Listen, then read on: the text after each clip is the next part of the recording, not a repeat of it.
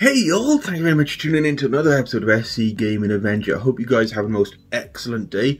It is currently 6am, uh, hence the bed here, and I figured I would record for you a nice little video before I go to work, and that is an unboxing of the Battletech Clan Firestar. Let's get that in close for you guys to have a look at. Check that out. Um, and this is one of my absolute favourite stars that you can get for the clan. Some absolute bangers in here. Um, so I figured I'd open this up for you guys, show you the mechs, have a little talk about them. Um, so without any further waffling, let's get this box open. So we have my trusty multi-tool, just slip it in here, slice some tape, and get this box open. And as always, we have the Alpha Strike cards, pilot cards with all the special abilities and all those kind of things. So I'll just put those over there for the moment. And then slide out these mechs you to have a look at. Now, I have noticed that the clan boxes, the art in the back is different to the Inner Sphere boxes, which is pretty cool. Um, I do really love the art that comes in these boxes. It is really stunning. Uh, so enough uh, blithering on about the boxes. Let's have a look at the mechs themselves. And we will start with this tiny little fella. The Fire Moth. Let's bring him in close for you guys to have a look at. So there is the Fire Moth. Now I've got him focused for you guys. Take a look at that.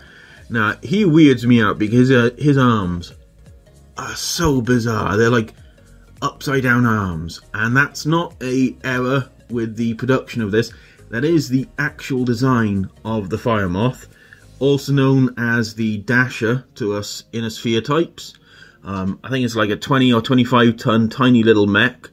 Um, and this thing is obscene. Uh, in that you know how you know they, they give some mechs like a little gimmick or you know like a little ability. Well this one is that it is stupidly quick. Stupidly fast. I mean it's already got 10 16 movement right out the gate. Um, but then some madman thought we're going to put MASC on that thing. Now if you know MASC is uh, a piece of equipment where you roll uh, essentially a piloting check, uh, and on a 3 plus for the first turn, it's fine, and then I think it's like a 5 plus on the second turn, and so on and so forth. Um, but if you fail the check, then the damn thing falls over and does like actuator damage to itself. Um, but it increases the speed to double its walking speed. So it's like this thing then goes from 10, 16 to 20 movement, uh, which is pretty much enough to get from one side of the map to the other. I mean, that'll take you from just inside long range missile range to right up into the enemy's face, turn one. Uh, and it is an Omni-Mech as well, so you can just kind of tag a point of elementals on, I believe. Just run up into the enemy's face and drop them off. Uh, it doesn't have much in the way of armament uh, or armor, but then speed is its armor. If any of you have ever played the old MechWarrior back in the day, where you were running around in fleas and stuff and using the lag as your armor, that's this thing's stick. Um, and the actual sculpt is actually really nice. I really like that sculpt. That is really nice. Um, the legs have got a definite swagger to, the, to them. It does look like he's strutting happily across the battlefield, which is pretty cool. So that's a really cool mech. Next up, we will have a look at the Kit Fox um, or the Uller, depending on if you're a clan or Inner Sphere. And I think it's a bit of an ugly mech, personally. Um, but it's that kind of cool kind of ugliness, kind of like how the A10 Warthog is ugly but beautiful. Um, that's how I feel about this mech. And check that sculpt down. Let's bring it around for the back for you guys to have a look at. That is one of those mechs um, Loadouts are a bit weird. I mean, it's 6-9 movement, and some of the loadouts have got like a Gauss rifle, or a bunch of LRMs, or PPCs, and not much else. It is very much um, a chip away at the enemy from long range kind of mech, but it is actually quite a nice mech. Um, and I am looking forward to getting that onto the battlefield. I, I really like that sculpt. It's, it's a really cool little mech. Um, it's nothing special as far as clan mechs go is like a budget Shadow Cat at the end of the day, but is a really nice mech. So next mech up is one that always amused me, and that is the Cougar.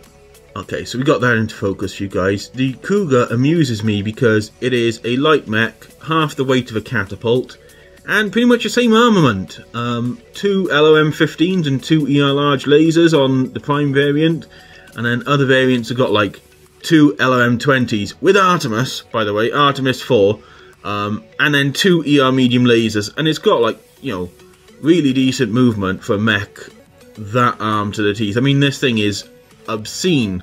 Half the weight of a catapult, same armament. I mean, as my mate Gawain pointed out, it does pay for it in the battle value, and it's not got anywhere near as thick an armour. But it's it's just crazy the amount of firepower you can bring on a clan mech, and the Cougar um, is one of my favourites for that because this thing it it's a classic. It's a mech that everyone has played with at some point in one of the computer games. Um, and I'm actually looking forward to trying this out on the tabletop. I've never actually used it on the tabletop myself. Um, so yeah, that is the Cougar. That is a really cool mech. And the sculpt for this is next level.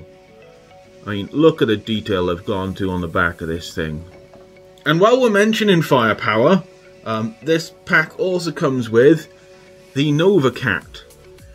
Okay, so that is uh, the Nova Cat now that's into focus. It is, I think it's either 70 or 75 tons. It is a clan mech, and the base profile comes with two ER PPCs and three ER large lasers, and not quite enough heat sinks to use them all at once. Um, but it's a good solid mech. But it's some of the other variants that really stand out to me. Um, because some of the variants is like we're talking about firepower, there is a version of this with six LRM-15s. Six of them! And enough heat sinks to use them all. Every single turn while running and not overheat. That is just obscene. Yeah, that, that's three catapults running around together. You know, clan mechs, they really do bring the firepower when they need to. And, I, and I, okay, it pays for it again in the battle value, and the fact that it's just one mech with just one mech's armour, so you know, against three catapults, it's probably going to come off a bit worse for wears. But six LRM-15s, imagine this thing running around with the Raven as a spotter. Just, you know, this thing ducks behind some cover and starts lobbing LRMs over the hill. And of course there's other versions with Gauss rifles and PPCs and tons of large lasers, but it is just obscene the amount of firepower this thing brings to the table. So yeah, that is no that is going towards the other half's forces. Conifer will be adding that to her ghost bears, I believe. And finally from this box is the big boy, the Masakari or the Warhawk, depending on whether you're clan or Inner Sphere. I can never remember which way round it goes, whether it's, you know, clan is Warhawk or Masakari, but this thing is another beast. Um, it's slow, it's ponderous, it's heavily armed, and it's heavily armoured because it is an assault mech. Um, and it just, you know, wobbles across the battlefield with four great big stinking guns and blasts anything that comes near it. And it is a real beast. Um, I've not played with one, but I've played against one back in the day. Um, and it just it just kept on coming. It just would not die. And as always, there's a bajillion variants that come with this thing because it is a clan Omni mech. Um, and let's bring that round for you guys to have a look at the back. And the sculpt, as always, is outstanding. Look at all them vents and stuff on the back of that thing.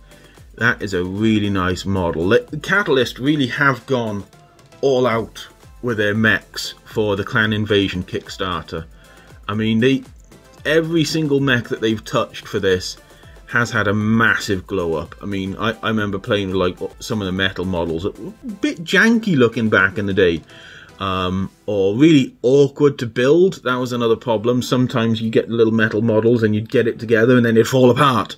Um, or it, it, would, you know, it'd just be impossible to pose it the way you wanted it.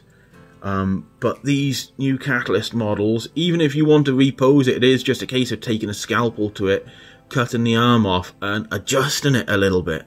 Um, they really are amazing and I'm really thankful to Catalyst for bringing them along. So yeah, my thoughts on this start is it is a really nice start. Lots of long range fire. Um, it is a it is definitely a fire support stick on the other side of the map type of star. Um, there is so much going on here. It would you probably wouldn't play the entire star in a single game unless you was doing something silly like 15,000 battle value. Um, but it is a really nice, really, really nice star with lots of long range firepower, a couple of big boys to really beat the enemy and just soak up all their fire, and a, like three little guys who are going to run around like crazy, blasting the guys from the rear because they've all got super, really nice loadouts. They've all got really nice loadouts. There's no real, you know, lemon amongst them. There's nothing that I'm going to be like, oh, I don't want to take that. It's a bit crap. Um, you know, they've all got their niches. You got the Dasher that just sprints about like crazy, dropping off elementals right where the enemy doesn't want them. And you got like the Cougar and the Kit Fox just blasting people from across the map. Um, and then you got like, you know, four out of five of these mechs have got some loadout loaded down with LRM-15s, at least two on each one. You know, it, it's, it's just obscene the amount of missiles these guys can carry if they want to. So yeah, that is my unboxing and review of the Clan Firestar. I hope you enjoyed this. Um, let me know in the comments below what you think of the mechs. Uh, if you have these, what are you guys painting them up as? Other than that, you have a most excellent day, and I will see you guys in the next video, okay? Take care, ta.